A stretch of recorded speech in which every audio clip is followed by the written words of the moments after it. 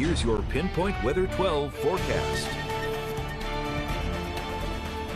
Well, we had a few uh, random showers this afternoon, most of it in southeastern Massachusetts, but really a better part of the day dry. And that's pretty much the same thinking for tomorrow, like a spot shower in the afternoon, but mostly dry. Take a look outside in Lincoln under mostly cloudy skies, uh, no precipitation after a few showers today, looking at temps that are in the upper 40s to lower 50s. Let's take a look at the numbers. 51 currently in Providence and Cumberland, uh, New Bedford at 52. Some of the cooler areas include out towards Ashaway and Westerly and Hope Valley at 46 along the Charlestown, along the South Shore, 48. New Bedford now checking in at 52. So on the weather menu is once again shower with the word isolated, meaning most of your Wednesday afternoon is actually dry with a mix of both clouds and sunshine. Thursday is a perfect day. Still calling this a um, like a lunch outdoors day. A lot of sunshine, dry, milder, getting temperatures in the mid 60s. And as you would expect, over the last really, I don't know how many weeks, uh, last uh, six of the last 20 weekends, 16 have had precipitation, and here we go again.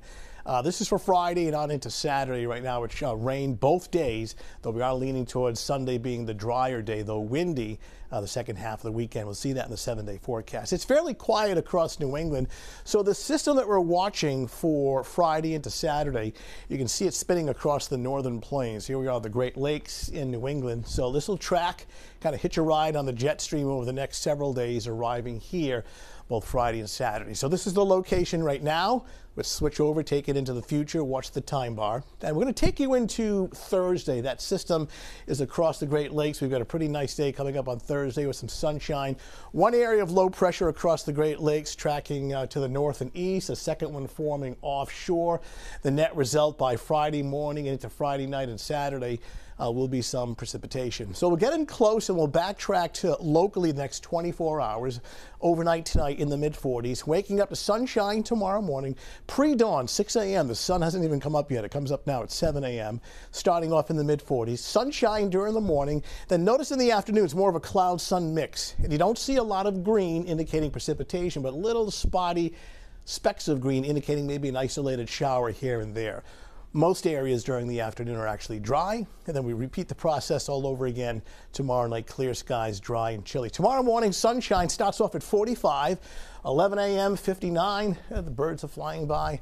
And then during the afternoon, a cloud sun mixture and running like a maybe a 20% chance of an isolated shower, nothing more than that. Most of the time it's dry. Day forecast, the wind is light. First east, then turning south at about 5 to 10 knots. Our seven day forecast shows uh, the beautiful weather on Thursday. Then here comes uh, the rain on Friday, especially afternoon and evening into Saturday. Drying out Sunday, but a windy day on Sunday, partly cloudy. Temps in the upper 50s. Overall, not bad. Tomorrow, even better on Thursday. Feels like fall. It does. All right, Tony, thanks. Coming up next.